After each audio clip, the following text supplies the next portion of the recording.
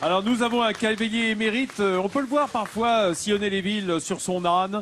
C'est Jean-Sébastien Petit-Demange qui s'est écarté du plateau. Oui, Goûté à la douceur chaumontaise là Oui, je voulais absolument qu'on finisse cette émission par ces images absolument sublimes de cette nature qui pour moi est d'une gigantesque humanité. On est ici à 300, un peu plus de 300 mètres d'altitude à Chaumont et il y a cet ondoiement absolument délicat qui déboule sur des forêts. On a l'impression que Chaumont surplombe la forêt et, et les champs. C'est absolument divin. Et on a cette même impression quand on est sur le viaduc de Chaumont. On est à un peu plus de 52 mètres euh, d'altitude sur ces 50 arches. Ce viaduc euh, qui a été commencé en 1855, fini en 1857. 60 000 mètres cubes de pierre pour le construire. Ça a été le premier chantier qui a, qui a fonctionné 24 heures sur 24, jours et nuits en France. Il a fallu 2500 ouvriers pour le construire. Ça donne un ouvrage d'art totalement unique en Europe.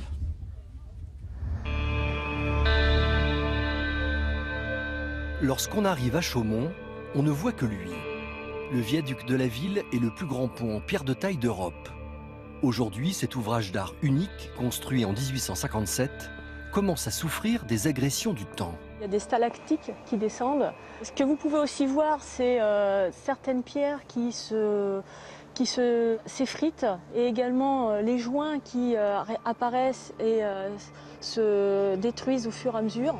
Pour contrecarrer le vieillissement de l'ouvrage, la Société des chemins de fer propriétaire du viaduc s'est lancée dans un vaste chantier d'aménagement. Durant l'été 2016, de nouveaux rails ont été disposés au troisième étage, première étape de trois ans de travaux. Coût estimé 11 millions d'euros. On a refait entièrement l'étanchéité du troisième niveau de cet ouvrage. Et la deuxième phase euh, se déroulera à partir de mars 2017 à décembre 2018, où on régénérera l'ensemble des maçonneries euh, du viaduc. Mais la société propriétaire du viaduc n'est pas la seule à assurer l'entretien de ce lieu incontournable de Chaumont. Aujourd'hui, une équipe de techniciens vient réparer l'une des rampes de lampes placées sous chacune des 54 arches du pont. Un câble qui alimente encore 10 projecteurs et un autre câble qui alimente encore. Sur le viaduc, 376 projecteurs faits de diodes électroluminescentes sont disposés. Un travail constant pour les équipes de maintenance. On nous a signalé qu'il y avait un problème justement sur un projecteur qui se trouve sur les, les herses, euh, qui avait pris l'eau euh, à cause d'un caillou qui était tombé euh, d'en haut. On doit changer les, projecteurs pour pouvoir que ça fonctionne et que ça éclaire comme il faut, qu'on évite d'y avoir des, des trous de lumière. Pour nous, c'est quotidien. Et le cœur de cette installation de lumière se trouve au pied du viaduc. Chaque soir, l'édifice s'illumine à la tombée de la nuit. Alexandre, qui travaille sur le projet depuis son inauguration en 2012, se doit de mettre à jour régulièrement les données de la commande d'illumination. L'horloge astronomique euh, est un, un appareil qui est euh, en tête de commande et qui permet euh, l'allumage et l'extinction à heure fixe de l'ouvrage. Donc là, on est sur un temps d'allumage astronomique. Donc par exemple, ce soir, le viaduc s'allumera à 19h18. Et à la nuit tombée, nombreux sont les curieux et les passionnés à se rassembler au pied du viaduc. 19h18, le spectacle peut commencer.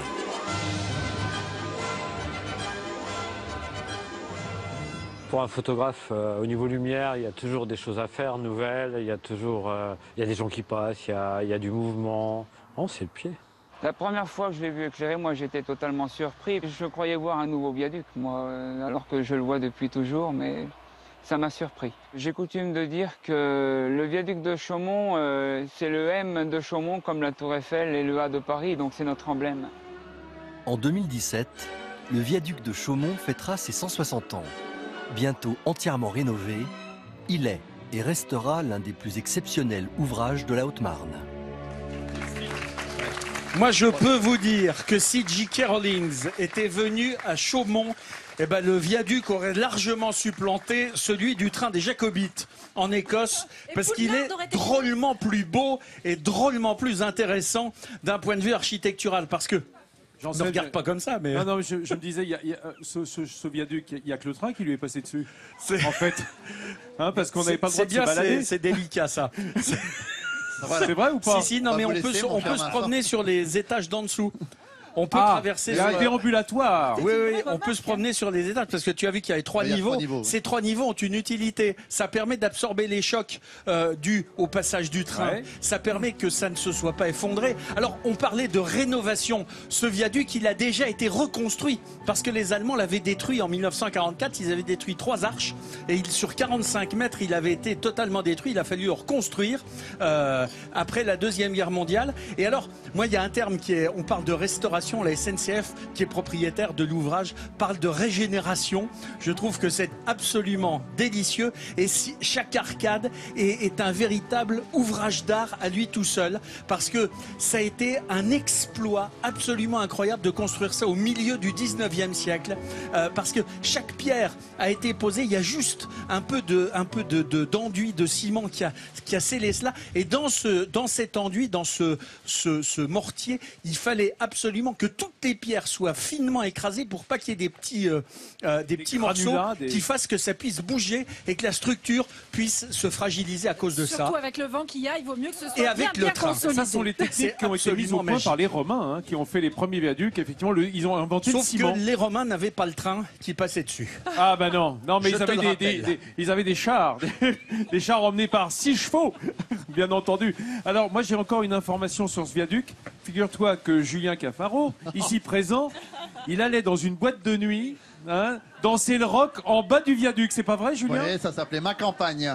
Ma campagne. Ouais, ouais, Sympa, c'était c'est là. belle. C'était vraiment sympa. Eh, eh, Il y en a derrière, eh, il y en a qui ont dansé Ah ouais, avec ouais. Julien derrière. Il- Ouais. il va- ah oui, Ah, allez, c'est- qu'est-ce oui, qu'il oui. nous a- qu'est-ce qui nous a fait danser Dis donc, Mais Julien. pendant, ouais, pendant 10 ans, ça, tous les samedis, on Non, y mais allait. ça- C'est un cadre idéal. Mais c'est c'était magique. Génial, génial, il y avait Hein la piscine. Pour faire il y de avait belles tout, il y rencontres, avait- c'est magique. Ah oui, les rencontres étaient très agréables.